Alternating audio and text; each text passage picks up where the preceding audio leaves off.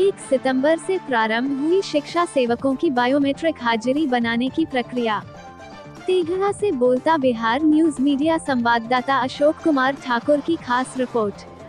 तेघड़ा, बेगूसराय। अब सरकारी प्रक्षेत्र के विद्यालयों के शिक्षकों की उपस्थिति। बायोमेट्रिक प्रणाली ई शिक्षा कोष पोर्टल के माध्यम से दर्ज करने की व्यवस्था की गई है।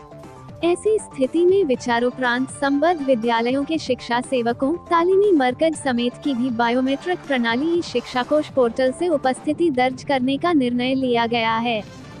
ये व्यवस्था 1 सितंबर से लागू किए गए हैं। इसके मद्देनजर निर्देश दिया गया है कि 1 सितंबर से शिक्षा सेवकों की उपस्थिति उनके संबद्ध विद्यालय, जिसका यू डायस कोड उन्हें आवंटित है, कि बायोमेट्रिक प्रणाली शिक्षा कोष पोर्टल के माध्यम से दर्ज कराने के संबंध में आवश्यक कार्रवाई करना सुनिश्चित करेंगे।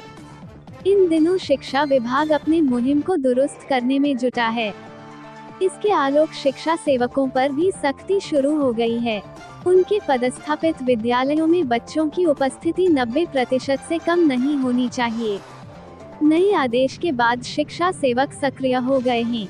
गाँव के लोगों को इस नए पद के बारे में जानकारी मिलने लगी है। दरअसल टोला सेवकों की नियुक्ति दलित एवं अल्पसंख्यक परिवार के बच्चों को शिक्षा के लिए प्रेरित करने के उद्देश्य से की गई थी। अभिभावकों को जागरूक करते हुए बच्चों को पढ़ने के लिए स्कूलों में नामांकन करवाने की ज़िम्मेदारी के साथ ही 15 से 35 वर्ष के असाक्षर महिलाओं को साक्षर करने की जिम्मेवारी दी गई थी।